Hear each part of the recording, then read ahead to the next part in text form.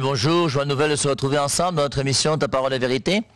Euh, nous avons commencé ce petit cycle de Matthieu chapitre 6. hein. Je vous rappelle que Matthieu 5, 6, 7, on appelle cela le discours sur la montagne. Et dans Matthieu chapitre 6, hein, on nous parle d'abord de la prière, de l'aumône et du jeûne. Et puis à la fin, on termine donc par ce passage sur le choix entre Dieu et l'argent. Et, et c'est le grand choix que Dieu propose à chacun et chacune d'entre nous. Et, nous devons comprendre qu'à partir du moment où nous engageons à vivre comme Dieu veut, à ce moment-là, eh euh, nous connaîtrons euh, le véritable bonheur. Nous devons chercher à gagner de l'argent uniquement d'une manière conforme à ce que Dieu veut.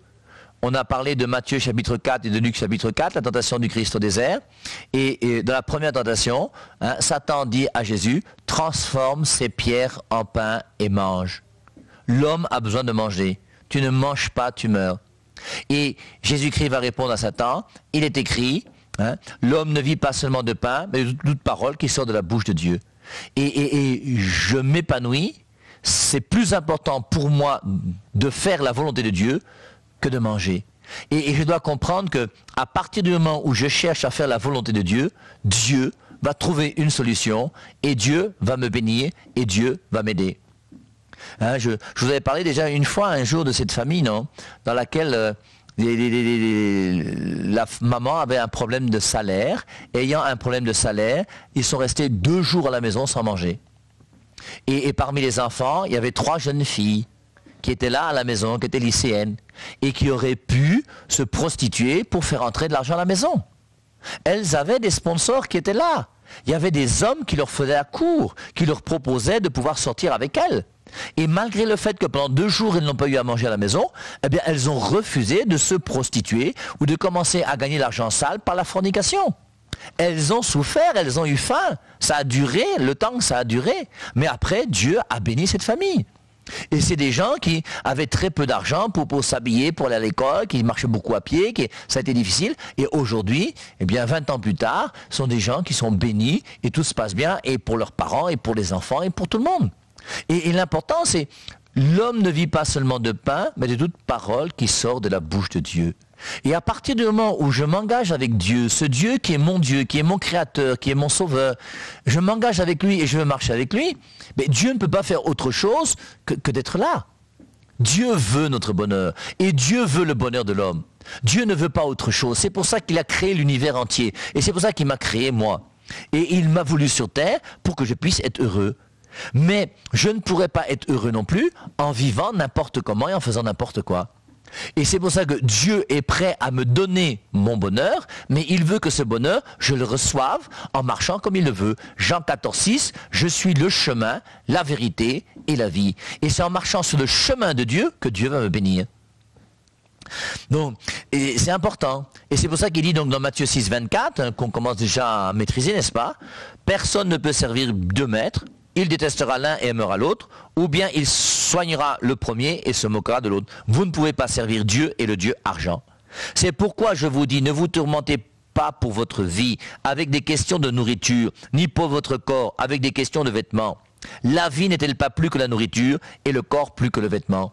Et on a vu donc la semaine dernière comment la vie que j'ai en moi, qui m'est donnée par Dieu, est beaucoup plus importante que la nourriture. Et on a vu que je peux mettre des cheveux sur ma tête, mais je ne peux pas me payer une tête. Et le jour où ma tête sera coupée, c'est fini. Mes cheveux ne serviront plus à rien. Je peux acheter des chaussures, mais je ne pourrai jamais acheter des pieds. Et les pieds que j'ai sont plus importants que les chaussures que j'achète. Pourquoi me battre pour des choses qui ne sont pas essentielles et ne pas vouloir comprendre que l'essentiel m'est donné par Dieu. Et que si Dieu m'a donné une narine, c'est pour que je puisse respirer. Et l'air que je respire, c'est de l'air qui m'est donné gratuitement pour que je puisse continuer à vivre sur terre. Donc, je continue. Regardez les oiseaux du ciel. Ils ne sèment pas, ils ne moissonnent pas, ils n'ont pas de réserve ni de grenier, mais votre Père du ciel les nourrit. Ce passage de Matthieu 6, 24 est vraiment très très beau. Hein les oiseaux. Quand on dit les oiseaux, hein, on pourrait prendre tous les animaux que vous voulez. Je vous rappelle qu'un éléphant mange, si mes souvenirs sont bons, 45 kilos par jour. Regardez le nombre d'éléphants qu'il y a sur Terre et le nombre de tonnes de nourriture que Dieu doit trouver pour que les éléphants, chaque jour, puissent manger. Et Dieu s'est débrouillé pour que les enfants, les éléphants puissent avoir leur nourriture. Alors il y a les rhinocéros, il y a les crocodiles, vous prenez les requins, les poissons, vous prenez tous les animaux que vous voulez, depuis le dromadaire, les chameaux, en passant par les cafards, les les pousses, tout ça. Mais tous ces animaux sont nourris par Dieu. Et ils ne moissonnent pas, ils ne travaillent pas, ils n'ont pas de salaire à la fin du mois, ils n'ont pas un compte en banque où ils vont toucher l'argent. Ils n'ont même pas de grenier. Mais votre Père du ciel les nourrit. Et vous alors, ne valez-vous pas beaucoup plus qu'eux? Qui d'entre vous, à force de s'inquiéter, pourra prolonger sa vie d'une seule coudée? Je vous rappelle que je vous dis souvent, moi, vous n'avez jamais vu un porc aller au champ avec une machette. Vous n'avez jamais vu une poule aller au champ avec une roue. Et, les poules ne travaillent pas, les porcs ne travaillent pas, et Dieu les nourrit. Et tous ces animaux qui sont là dehors sont des gens, Dieu les nourrit. Est-ce que nous ne sommes pas plus que des oiseaux? Et il ajoute, inquiète-toi autant que tu veux. Parce que dans ce passage de Matthieu 6, 24, 34, quatre fois il dit, ne vous inquiétez pas. Or, la première inquiétude, c'est l'inquiétude par rapport à l'argent. L'argent qui me donne la nourriture et le lieu dans lequel j'habite. Quand quelqu'un habite dehors, mais c'est quand même terrible de ne pas avoir de domicile les 100 domiciles fixes, 100 domiciles fixes. C'est terrible. Et il faut un peu d'argent pour acheter au moins une petite case quelque part. Et tout le monde a besoin d'argent. Et donc, qui d'entre vous, à force de s'inquiéter, pourra prolonger sa vie d'une seule coudée? Ta vie ne t'appartient pas, elle t'est donnée par Dieu et tu ne peux rien faire pour une seconde de plus, une seconde de moins. C'est Dieu qui décide. Et donc, comprenons que Dieu, de même qu'il s'occupe des oiseaux, de même qu'il s'occupe des animaux, il s'occupe encore d'une manière plus belle et plus grande de nous les hommes qui avons été créés à son image. Je le piffe mal, il me yamo, il m'aime et je l'aime, je suis son ami. Et, Jésus-Christ ne, peut pas ne pas vouloir du haut du ciel mon bonheur. Dieu se plaît à bénir ses enfants. et nous pouvons recevoir les bénédictions de Dieu à condition de marcher selon le plan de Dieu. Et le vêtement, pourquoi vous en préoccupez Voyez comment sortent les lys des champs et instruisez-vous. Les lys des champs, c'est une fleur qui en quelques jours va commencer à, montrer sa beauté. Quelques jours plus tard, elle est fanée. Et lys des champs, c'est tellement beau. Et Dieu crée ça pour quelques heures, quelques minutes. Et nous, on va s'inquiéter. Pourquoi? Il ne peine pas. Il ne tisse pas. Mais je vous dis que Salomon, dans toute sa gloire, n'était pas habillé comme l'un d'eux. Si Dieu habille ainsi la plante sauvage, qui aujourd'hui se dresse, mais demain sera jetée au four, ne fera-t-il pas beaucoup mieux pour vous? Vous avez bien peu de foi. Et c'est vrai que nous avons bien peu de foi. On verra un peu plus tard dans Matthieu toujours le passage où, dans la tempête apaisée, on a Jésus-Christ qui est là dans la barque et qui dort. Et il dort alors qu'il y a la tempête. Et je vous rappelle que pour quelqu'un dorme dans un bateau quand il y a la tempête, il faut vraiment qu'il soit très très fatigué. Parce que dans la tempête, le bateau il bouge beaucoup. Et en général, les gens sont plutôt malades, ils ont du mal à dormir. Mais Jésus-Christ dort dans cette barque. Et à un moment, il y a un apôtre, on ne sait pas lequel. Moi, personnellement, je pense que c'est Pierre, mais je peux me tromper. Il y a un apôtre qui vient voir Jésus qui dit Jésus, Jésus, comme toi, ça ne va pas. Oh, tu as vu, c'est la catastrophe. Jésus-Christ dit Homme de peu de foi, et l'apôtre dit, Jésus, je ne te parle pas de foi, je te parle de choses sérieuses. Nous sommes en train de couler et de mourir. Et Jésus dit, vent, stop, tempête, stop, terminé. Dans ce passage de Matthieu 6, il nous dit, le vêtement, pourquoi vous en préoccupez Les lits sont habillés plus que le grand roi Salomon. Ne fera-t-il pas mieux pour vous? Vous avez bien peu la foi. Et Jésus-Christ nous reproche notre manque de foi. Ce Dieu qui a créé le ciel et la terre, qui m'a créé, comment moi-même je peux croire qu'il va me laisser tomber pour une boule de couscous? Donc laissez là vos inquiétudes. Qu'allons-nous manger? Qu'allons-nous boire? Allons-nous nous marier? Aurons-nous une maison? Laissons toutes ces inquiétudes. Donc laissez là vos inquiétudes. Comment nous allons manger? Comment nous allons boire? Hein? Comment nous habiller? Laissez les païens courir après toutes ces choses, car votre Père du ciel sait que tout cela vous est nécessaire. Et il faut que chacun d'entre nous puisse comprendre. Quand on dit notre Père qui est aux cieux, quand tu as un Père qui est sur terre et qui a un peu d'argent, tu sais que tu n'as pas de soucis. Hein? et, et, donc, on a un Père au ciel qui, lui, est immensément riche. Tout l'or et tout l'argent appartiennent à Dieu. AG 2.8, comme on a vu il y a 15 jours. Donc laissez les païens courir après toutes ces choses, car votre Père du ciel sait que tout cela vous est nécessaire.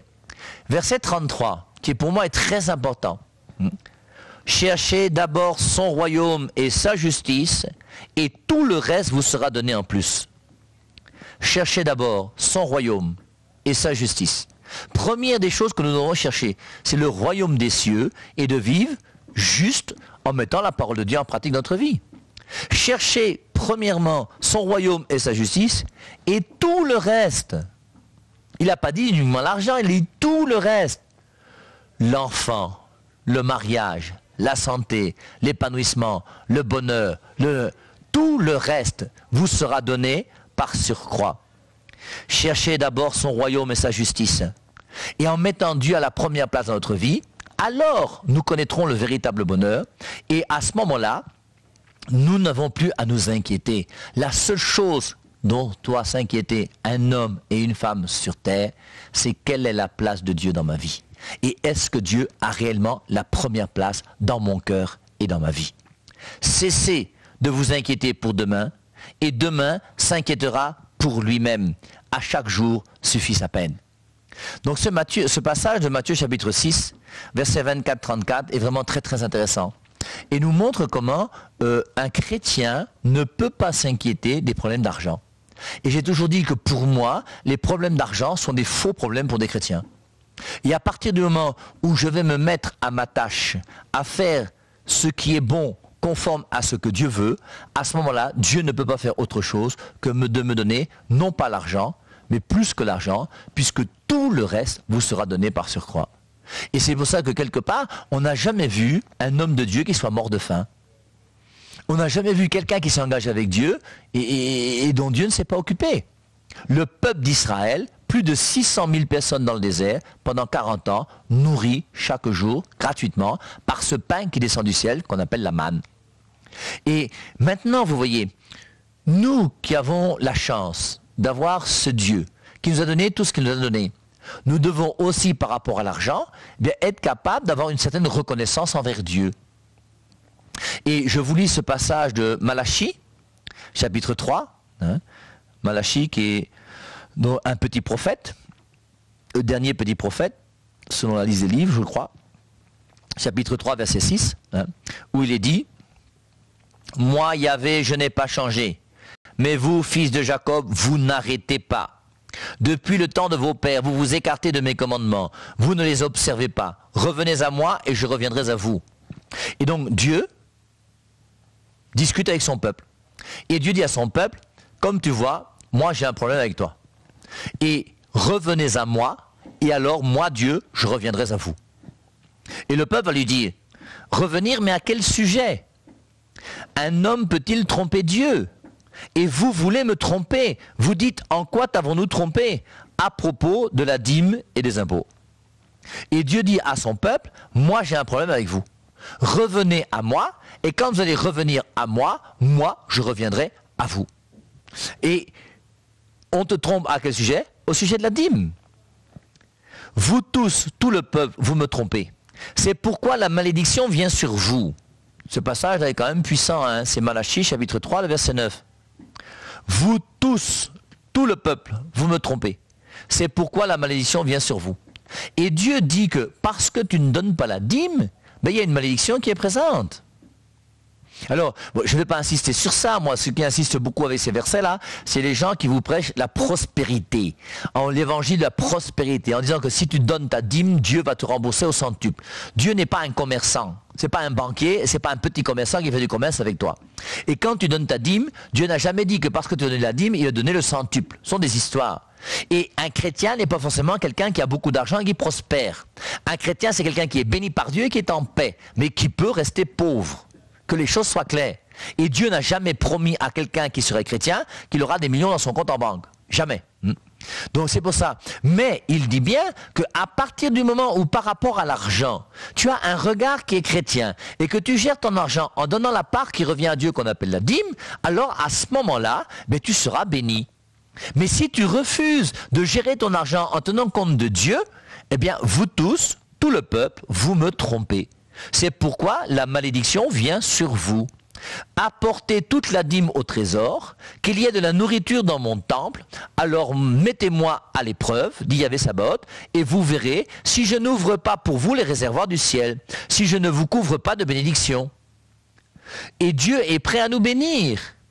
Il y a le choix entre la malédiction et la bénédiction. Rappelez-vous de Théronome 35. Je mets devant toi le bonheur et le malheur, la vie et la mort, la bénédiction et la malédiction. Et par rapport à l'argent, la dîme, c'est bénédiction. Refuser la dîme, c'est malédiction. C'est le texte de Malachie chapitre 3 que nous lisons ensemble.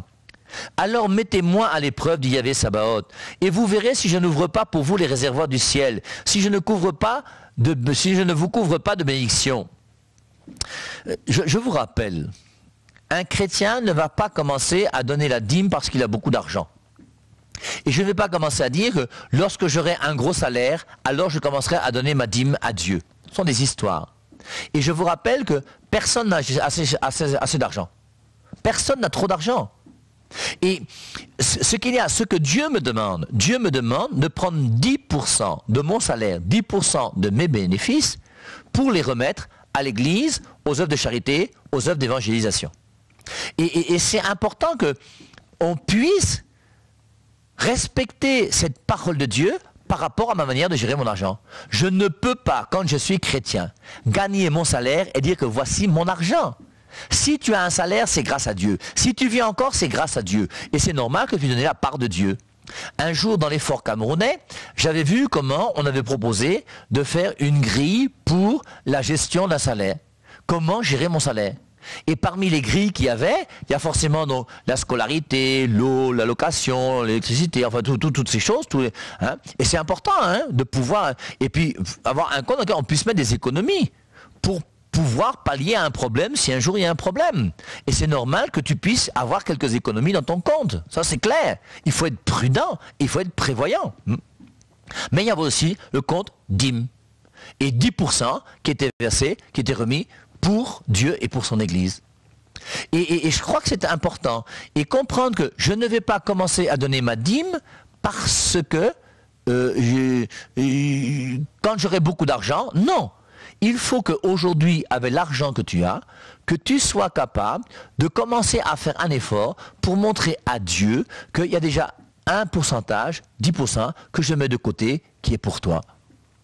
et vous les jeunes, dès aujourd'hui, sur, votre argent de poche, sur l'argent qu'on vous donne le jour de, votre anniversaire, sur, je ne sais pas, mais commencez déjà dès aujourd'hui à prendre 10% que vous mettez de côté.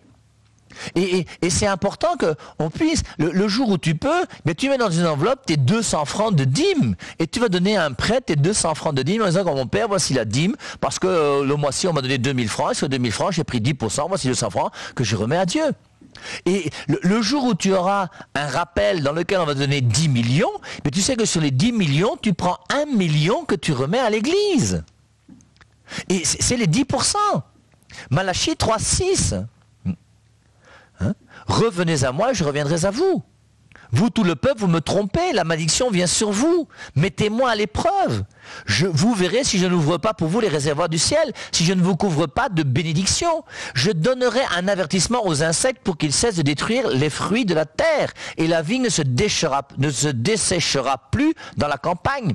Et, Dieu montre bien que quand tu fais ta plantation, ta plantation là, heureusement qu'il y a l'eau qui tombe du ciel et le soleil qui éclaire. Sans mon soleil et mon eau, tu vas faire comment? Et c'est Dieu qui donne. Et lui-même dit, je donnerai un avertissement aux insectes pour qu'ils cessent de détruire les fruits de la terre. Mes amis, quand on sera au ciel, on verra tous les bienfaits que Dieu a fait pour nous. Moi, je suis persuadé qu'un jour, je vais m'apercevoir que j'ai fait une crevaison dans un virage et que là, j'ai eu une panne. Pourquoi? Parce que grâce à la panne, ça m'a empêché de rencontrer un camion qui m'aurait tué. Ou des choses pareilles. Oh, oh, l'autre jour, j'ai une crevaison ma roue arrière droite. Quand je démonte le pneu, je vois qu'il y a l'huile qui coule parce qu'il y avait un problème et la roue a risqué de partir à un moment ou à un autre. Et Dieu a permis qu'il y ait cette crevaison qui me montre cette panne pour qu'au garage qui suit, on puisse euh, bricoler la voiture. Et il y, a, ces signes de Dieu. Il empêchera les insectes de détruire la récolte. Il empêchera le voleur d'entrer dans ta maison, mais il ira chez le voisin.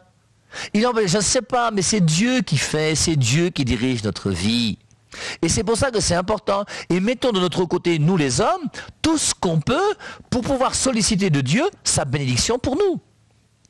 Je donnerai un avertissement aux insectes pour qu'ils cessent de détruire les fruits de la terre, et la vie ne se desséchera plus dans la campagne. Parole de Yahvé Sabaoth. Alors toutes les nations vous environt, car votre pays sera un paradis, dit Yahvé Sabaoth. Donc, notre argent, je ne peux pas gagner de l'argent sale. Je n'ai pas le droit de gérer l'argent n'importe comment. Je n'ai pas le droit de voler l'argent. Je n'ai pas le droit de détourner l'argent. Et il faut que par rapport à l'argent, je puisse simplement eh bien, me contenter de ce que Dieu me donne.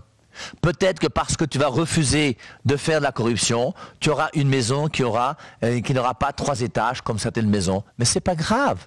L'essentiel, c'est que tu continues à vivre en paix chaque jour de ta vie. Je voulais aussi avec vous revenir sur un passage dans Luc au chapitre 21. Dans Luc au chapitre 21, on a cette femme cette veuve, comme tout le monde la connaît, non? Et ces deux piécettes. Et, ce passage, c'est levant les yeux, Jésus vit des riches qui déposaient leurs offrandes dans le trésor. Il vit ensuite une pauvre veuve qui jetait deux petites pièces. Et il dit, En vérité, je vous le dis, cette veuve sans ressources a mis plus que tous les autres, car tous ceux-là ont donné de ce qui ne leur manquait pas, mais elle, n'ayant rien, elle a mis tout ce qu'elle avait pour vivre. Ce passage de cette petite veuve de Luc chapitre 21 montre bien, vous voyez que Jésus-Christ là, ce qui est important, c'est pas la somme d'argent qu'on va te remettre. Alors c'est vrai que nous les hommes, imaginez, si quelqu'un vient me voir et me dit que mon père, voici je te remets une somme d'argent. Si c'est une grosse somme d'argent, forcément tu vas essayer de garder son numéro de téléphone, tu vas essayer d'aller lui dire merci un jour, de voir si éventuellement un autre jour il ne peut pas continuer à t'aider. Hein, c'est l'homme humainement parlant, c'est comme ça qu'il est. Mais nous ne devons jamais hein, nous accrocher à quelqu'un parce qu'il nous donne de l'argent. Moi, ce que j'aime bien aussi, c'est que j'oublie rapidement tous les gens avec qui je marche. Hein, dès que je te vois aujourd'hui, demain, je sais même plus que j'étais avec toi. Donc, de ce côté-là, Dieu m'a donné une mémoire qui est très très mauvaise. Heureusement que ma mémoire me permet quand même de retenir des références bibliques. Mais c'est essentiel, non? Et après, donc, il y a quelqu'un, quelqu'un peut me donner sa dîme ce soir, je te vois demain, je ne te reconnais pas. Et ça m'est arrivé, hein, une famille dans laquelle on allait manger. À la fin du repas, la famille, là, la dame m'a donné euh, une enveloppe pour dire, mon père, voici ma dîme. Et puis euh, le lendemain, je la croise, elle vient acheter des documents, je n'ai même pas reconnu que c'était elle. Et je trouve ça magnifique et c'est bien, parce que ça ne fausse pas les, relations qu'on a avec les gens, et c'est très important. Et ce n'est pas la quantité d'argent que te donne quelqu'un qui est important. Alors maintenant, il est clair que bon, si quelqu'un donne de l'argent, ça, aide toujours, on a tous des projets, et c'est important de pouvoir avoir des gens qui nous aident. Mais en même temps, l'important, c'est la personne qui met 25 francs, qui te dit que les 25 francs qu'elle a mis, ne sont pas plus que les 10 000 francs qu'a donné son voisin? Et vous avez des gens qui peuvent vous donner peut-être 100 francs et pour eux, ça leur coûte. Hmm? Alors maintenant, en même temps aussi, il faut faire la part des choses. Il y a des gens parmi nous qui sont capables d'aller en boîte ou d'aller dans un bar, ils, dépensent 50 000 francs sans souci ou 100 000 francs ou 200 000 francs, mais à la quête, à la messe, ils vont jamais donner 2 000 francs. Parce que 2000 francs à la quête, c'est beaucoup, mais 2000 francs dans un bar, c'est tout petit. Donc il faut trouver le juste équilibre. Et comprendre que par rapport à Dieu, je dois remercier Dieu pour la vie qu'il me donne, pour le travail qu'il me donne, pour l'air que je respire, pour le sang qui coule dans mes veines, pour ma femme, pour mes enfants, pour tout ce qu'il a fait pour moi. Et c'est pour ça que c'est normal que je puisse être généreux envers lui. Et Jésus-Christ a, remercié d'une manière particulière cette veuve.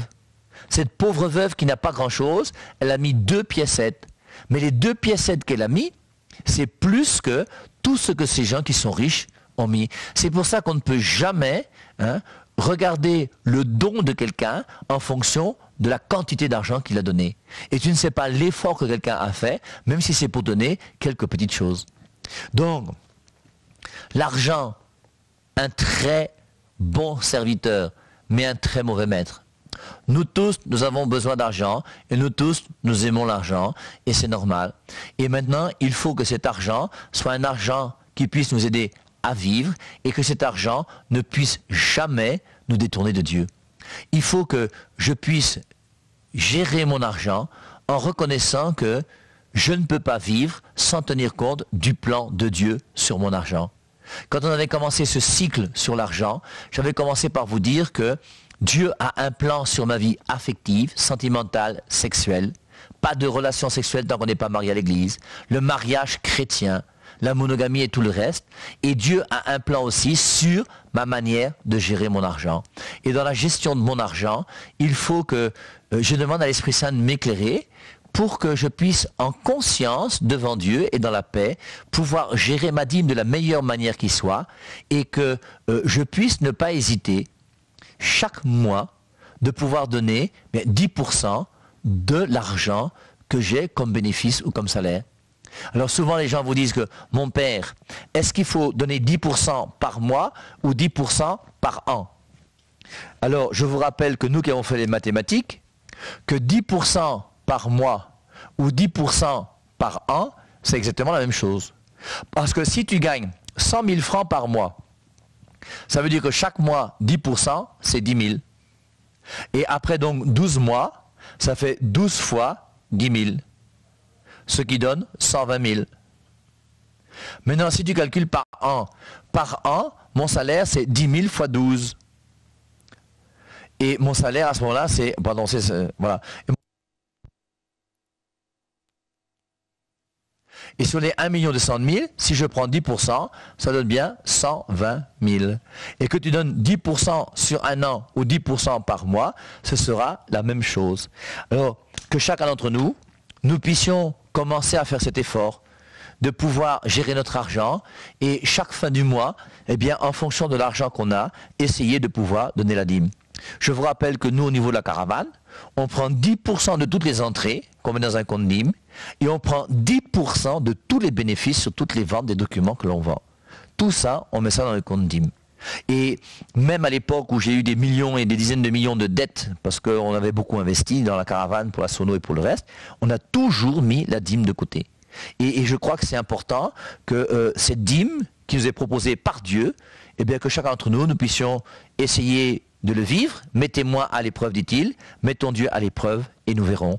Et vous verrez que la plupart des gens qui, donnent leur dîme sont des gens qui sont épanouis, qui sont heureux et qui sont contents. Un jour même, il y a un monsieur qui donnait sa dîme régulièrement. il avait sa plantation au village et c'est le seul chrétien qui dans son village donnait la dîme. Chaque mois, sur les bénéfices, il calculait, puis il donnait ce qu'il pouvait, chaque fois qu'il avait des bénéfices. Et puis, euh, une nuit, il y a des rongeurs qui sont venus ronger les différents champs qu'il y avait. Et parmi ces différents champs qu'il y avait, il y a le champ de ce monsieur-là, qui payait la dîme, qui a été rongé d'une manière particulière par ces rongeurs. Tous les gens se sont moqués de lui. Tu donnes la dîme, regarde. Mais une fois qu'on a récolté, ce monsieur a récolté trois fois plus que tous les autres. Dieu est là, il est prêt à nous bénir. Engageons-nous, vivons notre argent d'une manière chrétienne, donnons la part qui revient à Dieu et à l'Église, et Dieu nous bénira. Loué soit Jésus-Christ, et à dimanche prochain. en la ciudad.